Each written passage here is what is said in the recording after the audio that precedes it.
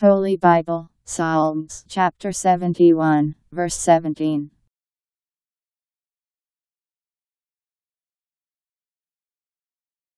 O God, you have been my teacher from the time when I was young, and I have been talking of your works of wonder even till now.